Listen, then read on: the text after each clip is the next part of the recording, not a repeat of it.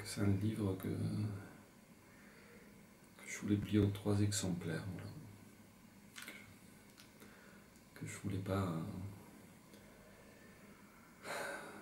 que je voulais m'en débarrasser, mais que je voulais pas qu'il soit, soit lu. Il y a eu plusieurs titres. Pendant longtemps, le titre c'était 2003 parce que ça fait partie de ce que j'appelle des annexes à mes autres livres. hein. Donc euh, celle-là, c'est l'annexe 2003. Où- bon, c'est pas du tout un journal, donc c'est pas, pas que ça couvre une année, mais c'est un, comme ce qui pour moi est l'essence de cette année-là dans, dans, dans la vie de, du narrateur de tous mes autres livres. Donc, euh, euh, et ensuite, euh, ça s'appelait La deuxième défaite, parce que ça raconte effectivement une, une deuxième défaite. euh, et oui, le, livre est né d'un cahier que j'ai retrouvé en écrivant la première défaite. Et euh, il y avait une série de, lettres qui, qui m'ont semblé ne pas trouver leur place dans la première défaite, parce que en général je reprends tous mes textes anciens quand j'écris. euh, pour la première défaite, j'ai repris un peu tous les textes défectueux que j'avais écrits euh, dans ma vie, tous les textes de, moments de désamour, de, de désespoir amoureux. Et ces textes-là étaient trop, trop, euh, trop sur un autre ton. C'est-à-dire, c'est- des textes qui racontaient le désespoir de quelqu'un qui, qui se séparait après avoir eu des enfants et voilà, il n'y avait pas la place dans la première défaite pour, pour inclure ces textes-là. Euh, je les ai gardés de côté, j'ai commencé à écrire en, en fait en parallèle à la première défaite un texte seulement à partir de ce cahier. Donc c'est bien plus triste que la première défaite, qui était déjà insupportablement plaintif. Je quoi, ça, ça raconte un, voyage, c'était un des titres aussi, un voyage en Italie. Je mets bien la, référence euh, cinématographique. Euh, et, euh, et vraiment, ça raconte voilà, juste quelques jours de voyage en Italie. un personnage qui, qui est traité à la troisième personne, donc je l'appelle même plus le, le narrateur, même si, si, voilà, ce jeu sur la troisième et la première personne n'est pas très, euh, très euh, mystérieux, il s'éclaircit assez simplement. Euh, et, voilà, il part pour laisser en fait sa femme vivre une autre histoire d'amour. Et les textes de, ce fameux cahier, c'était juste des, lettres écrites pendant ce, voyage. Pendant le, voyage, en fait, le personnage lit euh, les lettres à d'Apollinaire et donc il, envoie, il, y a des lettres euh, qu'il envoie, des lettres euh, d'Apollinaire qui sont lui semblent parler un peu de la même chose et, euh, et une narration euh, du voyage.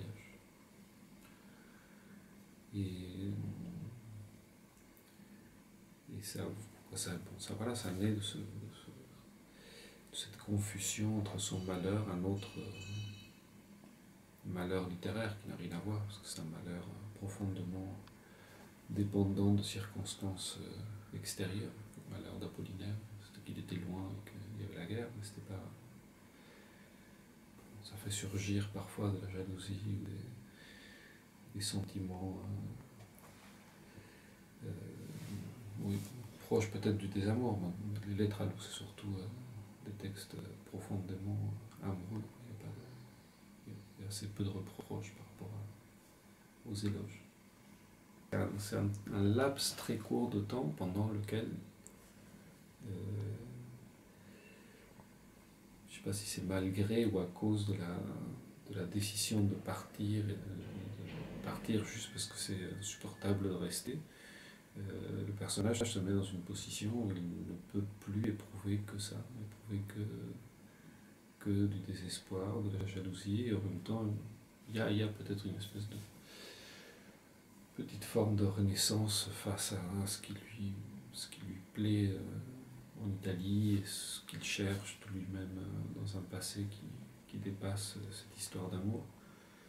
Mais il n'y a pas d'issue euh, heureuse, il n'y a, pas, a pas de happy end. Euh, j'ai du mal à parler de, de ce que fait l'écriture en général. Ce qu'elle fait pour moi, l'écriture. Quoi, je sais ce qu'elle fait. Ça fait 20-25 ans que je n'écris que sur ça, sur ce que, ce que fait que j'écris et ce que fait l'écriture dans ma vie à ce moment-là, pour, pour le, personnage du livre, c'est très clair que l'écriture ne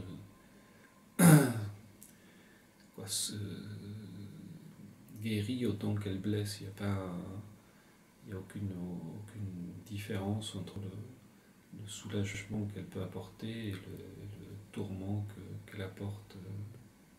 C'est même pas tour à tour, c'est en même temps. Euh, euh, au début du, livre, le, le, narrateur écrit que, que l'écriture en fait éloigne aussi bien de, de ce qui est le plus joyeux, c'est-à-dire que quand on est amoureux, ce qui me concerne moi, quand je suis amoureux et que j'écris un texte d'amour, je pense que je m'éloigne de la réalité de l'amour, il y a une forme de distance qui se crée. Et ça éloigne aussi de ce qu'il y a de pire, donc euh, ça éloigne aussi du, malheur le plus terrible. Euh, c'est vrai que on peut dire que, l'écriture sauve du suicide, mais, mais évidemment en étant une espèce de suicide perpétuel, parce qu'on ne cesse jamais de, tourner autour de la mort quand on écrit.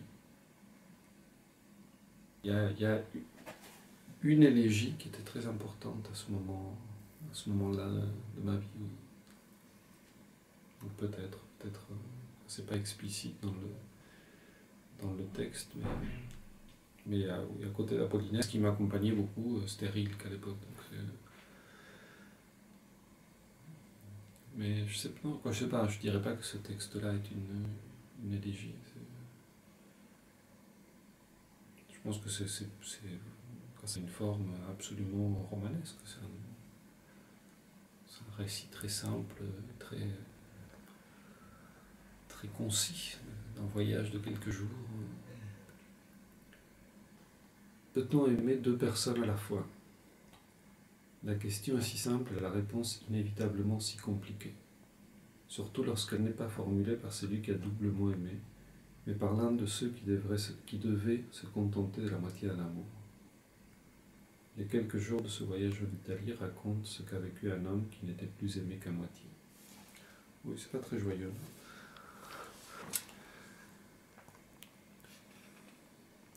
À l'aube, en arrivant à la villa, il a voulu une dernière fois parcourir les jardins.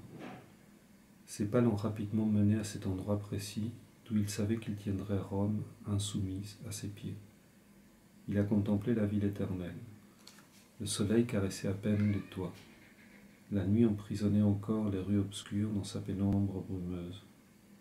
Un groupe d'oiseaux allait et venait dans le ciel et brillait par à coups au soleil comme la longue queue de feu d'un dragon chinois. La joute verbale des grillons battait son plein. Il semblait débattre joyeusement de sujets très sérieux. L'air était imprégné d'une douceur de pain et de rosée. La ville semblait grandir, pousser du fond des sages vers un futur magnifique. Au pied de la villa, descendant vers la via Malguta, les jardins s'étageaient composant une petite sonate aux notes brunes et vertes. Plus loin s'étendait le chœur symphonique de la ville minérale, où s'élevait parfois la, voix grave d'un dôme, parfois celle aiguë d'un clocher. Virgile et Horace se promenaient quelque part dans ces rues mélancoliques. Il a regardé Rome longuement. La vue était à la hauteur de ce qu'elle avait toujours été, chaque fois aussi belle, chaque fois nouvelle. c'était de nouveau cette vue irréductible qu'il avait tant aimée. Rarement il a autant fallu que j'écrive quelque chose et,